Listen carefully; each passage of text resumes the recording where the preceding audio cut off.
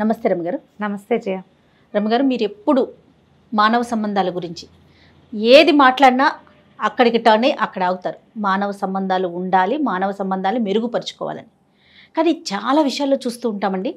అక్క చెల్లెళ్ళు అన్నా తమ్ముళ్ళు తోడు కోడళ్ళు వదిన మరదళ్ళు ఏదో ఒక చిన్న ఇష్యూ వస్తుంది.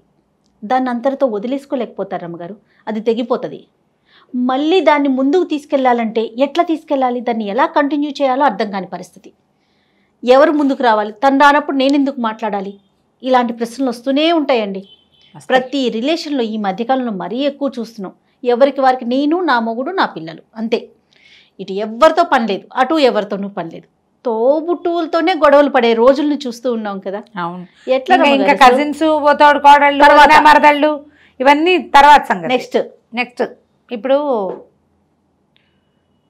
మనుషులు గాలిలాగా ఉండటానికి చూస్తున్నారు జయ. నీరులాగా ఉండాలి. పంచభూతాల్లో గాలి నీరు ఉన్నాయా? పృథివీ అవును. తేజో వాయు ఆకాశాలు. అవునవును. భూమి అవును. నిప్పు నీరు నింగి ఆకాశం. అదే పోనీ అలాగే ఒకటి పోయింది ఎక్కడో. గాలి. గాలి అసలు.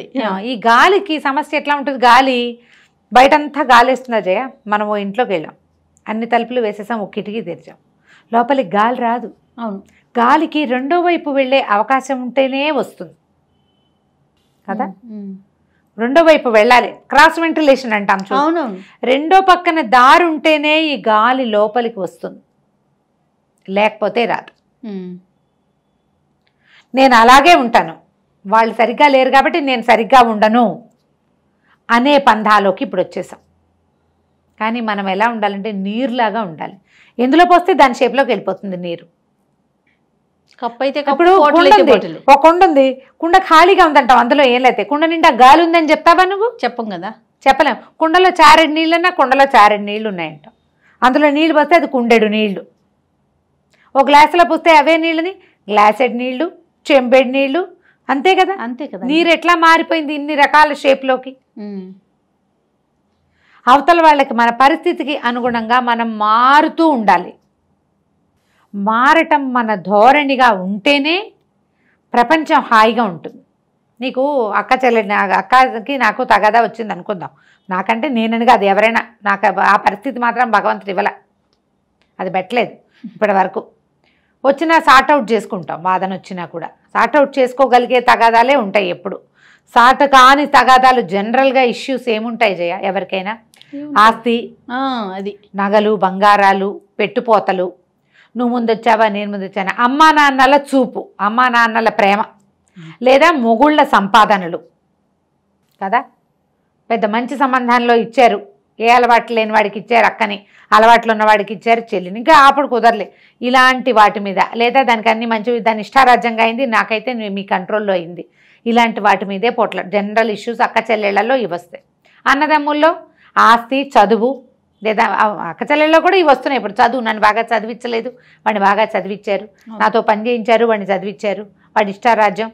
నేనేమో ఈ ప- ఇంట్లోనే ఇరుక్కుపోయాను. ఇలా ఉంటాయి. వీటితోటే కొట్టుకుంటాం. అవును. నిజమే. అలాగనే అన్నదమ్ములు అక్క చెల్లెలు ఒకళ్ళనొకళ్ళు వదిలేసుకుంటే కష్టం కాదు. మరి? ఇప్పుడు నువ్వు ఇది నువ్వు చేస్తావు. మీ అక్కయ్యతోటో మీ చెల్లితోటో మనం ఒకళ్ళని చేస్తాం. ఎవరో ఒకళ్ళు. వాళ్ళ అక్కతో పనికిరాదు. నీకు ఇద్దరు పిల్లలు ఉన్నారు నీ పిల్లలు వాళ్ళిద్దరు సరిగ్గా ఉంటారా. తోబుట్టుతో సరిగ్గా ఉండక్కర్లేదని నువ్వేగా నేర్పిస్తున్నావు? నువ్వు సరిగ్గా ఉండు నీ పిల్లలిద్దరిని కలిసి ఉండమని చెప్పు. ఉండమని ఎలా?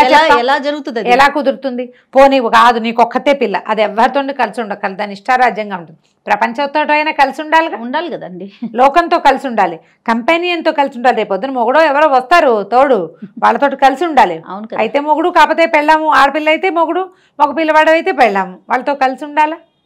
మానవ సంబంధాలు ఉండాలి కదా. వాడు లోకంలో బతకాలి ఆఫీసుల్లో ఈ గ్రూప్ డిస్కషన్లు అవి కదా. ఉద్యోగాలు అనేసరికల్లా ఒక గుంపు కలిసి పనిచేయటం. అవును. అసలు కలిసి వెళ్ళటం అన్న మాటే మన దగ్గర లేకపోతే మనం మన పిల్లలకి ఏమి ఇస్తాం? తోబుట్టులు ఒక్కళ్ళుంటే రక్తబంధం. ఆ ఒకదాన్ని కూడా తెంచేసుకుని చెడగొట్టేసుకుని బాగు చేయలేనంతగా పాడు చేసేసుకుని. ఈ ధోరణి మార్చుకోవాలి జయ. ఇప్పుడు నువ్వు ఎవరు ముందు వెళ్ళాలి అనేది ఒక ప్రశ్నగా అవునండి ఉంటుంది. అవును అవును ఎవరి స్టెప్ వాళ్ళు వేస్తే ముందుకెళ్ళిపోతాం. పోనీ వాళ్ళు రావట్ల మనమే వెళ్దాం. ఈ ఆలోచన ఉన్నా బాగుంటుంది ఉండదు. నేను ఎందుకు తగ్గాలి అనిపిస్తుంది జయ? ఎప్పుడూ నేను ఎందుకు తగ్గాలి? ఆ నేనుకి పీట వేసినంత కాలం. మనకు మానవ సంబంధాలు బాగుండవు. నాకేం పట్టింది? నాకేం తక్కువ? నాకేం అవసరం? నేను ఎందుకు తగ్గాలి. వై షుడ్ ఐ ఈ క్వశ్చన్ అవునవును. వాళ్ళు సరిగ్గా లేరు. నేను ఎందుకు సరిగ్గా ఉండ? నువ్వు సరిగ్గా ఉండు. అవతల వాళ్ళు ఉండని ఉండకపోని. నా వరకు నేను సరిగ్గా ఉన్నాను అని అనుకోండి. ఇప్పుడు బ్రెయిన్ ఒకటి ఉంది. హార్ట్ ఒకటి ఉంది. రెండు ఉన్నాయి. కదా? బ్రెయిన్ తోటి రకరకాల ఆలోచనలు చేస్తాం. హార్ట్ ఇదేది కదిలే హార్ట్ కాదు. మనసు. నీకు బ్రెయిన్ ఏం చెప్తుందంటే వీళ్ళు నీతో తగాదా పడ్డారు వీళ్ళతో నువ్వు కలిసి ఉండక్కర్లేదని చెప్తుంది. ఎలాగా? చాకుతో కొస్తే తెగుతుంది జాగ్రత్తగా ఉండు అని బ్రెయిన్ చెప్తుంది. చాకుతోటి కూడా నువ్వు జాగ్రత్తగా హ్యాండిల్ చేస్తే తెక్కండా చేయొచ్చు అని చెప్తుంది మనసు. మనసు మాట వింటున్నాం అక్కడ.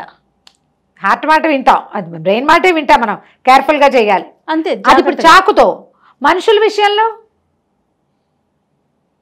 చాకు ఇన్స్ట్రుమెంట్ కదా. మనుషులు ఇన్స్ట్రుమెంట్స్ కాదుగా. వీళ్ళతో బాగుండు అని మనసు చెప్తూ ఉంటుంది. కానీ మనం హ్యాండిల్ హ్యాండిల్ విత్ కేర్ అని బ్రెయిన్ మాటే వింటూ ఉంటాం మనసు మనసు మాట మనం విన వినకపోతే ఏమవుతుందో తెలుసా? తోబుట్టువులతో సంబంధ బాంధవ్యాలు లేని వాళ్ళకి అనారోగ్యాలు వచ్చేస్తాయి జయ. స్ట్రెస్ ఫీల్ అవుతారు. ఒంటరితనం లోపల సబ్కాన్షియస్లో బాధిస్తూ ఉంటుంది. వాళ్ళు గ్రహిస్తారండి. గ్రహించరు మొండి మీ బ్రెయినే పనిచేస్తుంది కదా. నేను ఎందుకు తగ్గాలి? అప్పుడు అలా చేసింది ఇప్పుడు ఇలా చేసింది వాళ్ళు అలా చేస్తారు ఇలా చేశారు. మా అమ్మ కంటే ముందు ఇదే చేసేసింది అన్ని లాగేసుకుంది పెట్టలేదు. అన్నదమ్ముల్లో కూడా ఉంటుంది కదా అయ్యో భయంకరంగా ఉంటుంది వాళ్ళకి మరి. సిబ్లింగ్ రైవలరీ విపరీతంగా ఉంటుంది. ఏదో ఒక దశలో దీన్ని దాటాలి. దాటండి చాలా సమస్యలు తీరిపోతాయి. దీనికి ఒక చిన్న కథ చెప్తాను జయ ఓకే. చాలా చిన్న కథ. ఒకరోజు ఒక ఊళ్ళో రామయ్య సోమయ్య అని ఇద్దరు అన్నదమ్ములు ఉన్నారు. చెరుకో ఇల్లు ఉన్నాయి ఇళ్ళ మధ్యలో ఒక కాలం ఉంది. రామయ్య గారింటికి ఒక రోజు ఒక రాత్రి వేళ ఒక ఆయన అతను వచ్చాడు. బాబు పై ఊరండి ఏదైనా పని ఉంటే చేస్తాను. ఏదైనా పనులుంటే ఇవ్వండి అన్నాడు. ఏం పని చేస్తారు? అని అడిగాడు. వడ్రంగినండి అన్నాడు. వడ్రంగి అంటే చెక్క పని చేస్తారు. అనేసరికల్లా వడ్రంగి ఆయన అన్నాడు. సరే ఈ పక్కన కాలువ దాటి వచ్చావు కదా. ఆ కాలువ మా తమ్ముడు తవ్విచ్చిందే. కాలువ ఒకటి పక్కన వాడి ఇల్లుంది. నేను అటు రాకూడదని వాళ్ళ ఇంటి వైపుకి రాకుండా ఉండటం కోసం కాలువ తవ్వేశాడు. కాలువ ఎట్లా దాటుతాం? అందుకని నేను ఊళ్ళోకి వెళ్ళడానికి అవతల పక్క నుంచి వెళ్ళాల్సి వస్తుంది. ఇక అసలు తెల్లాడితే వాడి మొహం నాకు కనపడకూడదు. పెద్ద దడిలాగా కట్టేసేయండి మా వాకిలికి. కనపడుతున్నారు. ఇంట్లో నుంచి అవతల వాళ్ళు కాలువ అవతల మనుషులు కనిపిస్తారు. దడి కట్టేయమన్నారు. అది ఎంత పని అండి బాబు? అలాగేనండి అన్నాడు. అలాగే అనగానే సాయంత్రానికి సాయంత్రం మర్నాడు అంతా కలపంతా తెప్పించేశారు. తెల్లారేసరికి కట్టేస్తావా అన్నారు కట్టేస్తానండి నన్ను రెండు లాంతర్లు నాకు ఇచ్చేయండి. రాత్రికి రాత్రి నేను చేసేస్తాను అన్నాడు అనగానే కావాల్సిన కలప సుత్తి మేకులు అవి ఇవి అనేది దడి. దడి కట్టడం అంటే ఏంటి? ఒక ఎత్తుగా ఒకదాని మీద చెక్కలు పేర్చి బయట వాళ్ళు కనపడకుండా అడ్డం కట్టేయటం అనమాట లైక్ గోడ. గోడలాగా. దడి అంటారు. తడికలు పెట్టుకుంటాము. మనం ఏదో ఒకటి అడ్డం పెడతాం కదా. అడ్డానికి. సరే ఏమైంది? ఈయన తెల్లవారు లేచి వచ్చేసరికల్లా ఆయనకి కాలువ మీద ఇటు నుంచి అటు వెళ్ళడానికి వంతెన కట్టు. ఆయన ఆశ్చర్యపోయాడు. ఏంటి వంతెన కట్టు? తమ్ముడు కట్టించాడా? దడి మాట మర్చిపోయాడు.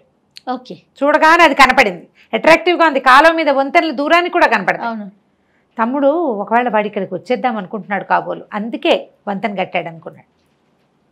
గబగబా మెట్లు దిగి కిందకి వెళ్ళాడు అటు నుంచి తమ్ముడు చూస్తున్నాడు. అవత కాలువ అవతల వైపు తెల్లారేసరికి. ఏంటి వంతెనుంది రాత్రికి రాత్రి?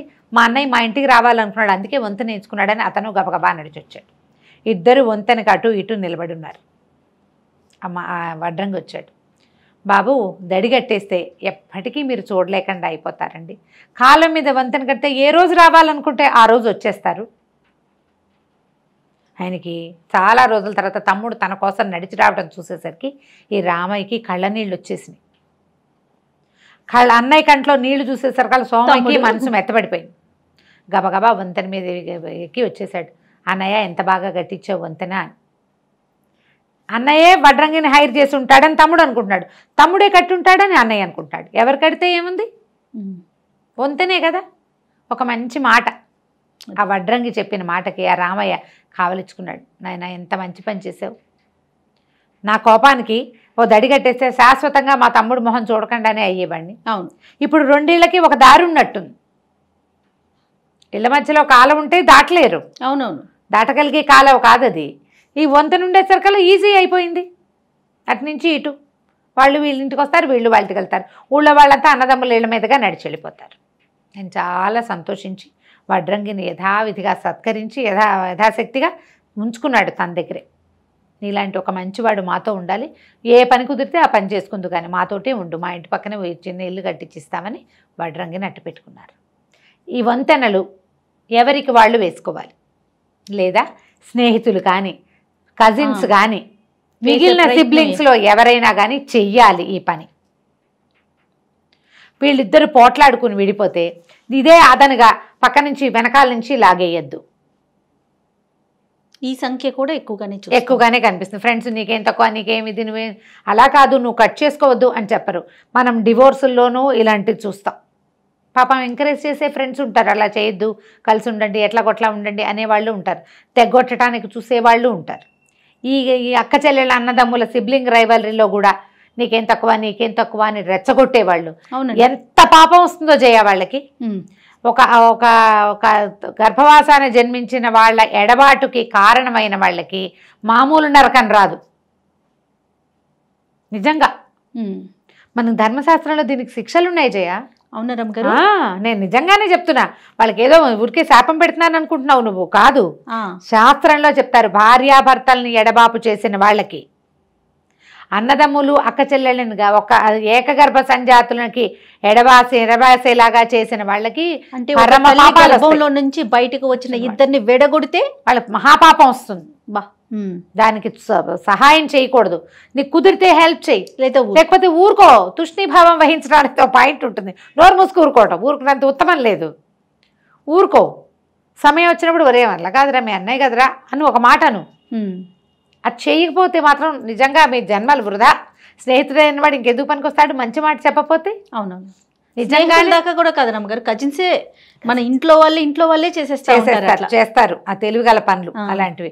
దానివల్ల ఏం లేదు. రేపొద్దున మీ పిల్లలు ఏమవుతారు? మీకు ఎట్లాంటివి వస్తాయో? ఒట్టిగా సగాదాలు పెట్టే వాళ్ళు కూడా కొంతమంది కనపడతారు కదా. ఇక్కడ మాట అక్కడ, మాట ఇక్కడ చెప్తూ ఉంటారు. ఎందుకో చెప్తారు అట్లా. అవును. ఏమొస్తుందో వాళ్ళ రాయ వాళ్ళకి సంతోషం మనకు తెలియదు అవును. అసలు మాట దాచరు. ఈ మాట ఇక్కడ చెప్తే ఈ ప్రాబ్లం వస్తుందేమో అని అనుకోరు. ఒకవేళ తగాదా అయినా అన్నదమ్ములు కలిసి ఉండండి అని చెప్పాలి. పోన్లే ఆస్తి తగాదాలు సరే మొహాలు చూసుకోకుండా చేయటం ఎందుకు? వాళ్ళ ఇంట్లో శుభకార్యానికి నువ్వు వెళ్ళకపోతే ఎట్లా? బాబాయివి? అని చెప్పాలి. అట్లా చెప్పరండి. ఈ చెప్పరు. ఈ చెప్పని వాళ్ళకి పాపం. గొడవని పెంచి పోషించే వాళ్ళకి మాత్రం చాలా పాపమే పాపాలు వస్తాయి. చాలా పాపం వస్తుంది. ఆ గొడవను పెంచటం మాత్రం చేయబోకండి. చెయ్యొద్దు కలిసి ఉంచటానికి మ్యాక్సిమం ప్రయత్నం చేయండి. ఎవరికి వాళ్ళు మీకు కనుక మన క్లోజ్ కజిన్స్ తోటి క్లోజ్ ఫ్రెండ్స్ తోటి అక్క చెల్లెళ్ళు అన్నదమ్ములతోటి తగాదా ఉంటే జస్ట్ మన వంతుగా ఒక స్టెప్ ముందుకేసి సార్ట్అవుట్ చేయడానికి ట్రై చేయండి. మీరు వేసే ఒక్క అడుగు ఒక్కొక్కసారి పెద్ద సముద్రాన్ని దాటేయగలుగుతారు. అవును. మీరు వెనక్కి తీసిన కొంది అవి దాటలేని మహాసముద్రాలు అయిపోవచ్చు. నేనెందుకు అని అనుకోవద్దు. ఆ దారి పెద్దదైపోతుంది. మీరు ఒక అడుగు వేస్తే ఆ దారి చాలా చిన్నదైపోతుంది. అవునండి. మీరు రెండు అడుగులు వేస్తే అవతల వాళ్ళు ఒక అడుగు వేసేందుకు అవకాశం ఉంటుంది. కనీసం తర్వాత తరాల వాళ్ళతోటైనా మీరు స్నేహంగా ఉంటారు. ఎందుకంటే మనకి ఇప్పుడు రిలేషన్స్ చాలా తక్కువ ఉన్నాయి. బ్లడ్ రిలేషన్స్ మరీ తక్కువ. ఉన్న అవును. వాటిని చెడగొట్టుకోవద్దు. రైట్ రమ్మగారు నమస్తే. నమస్తే జీ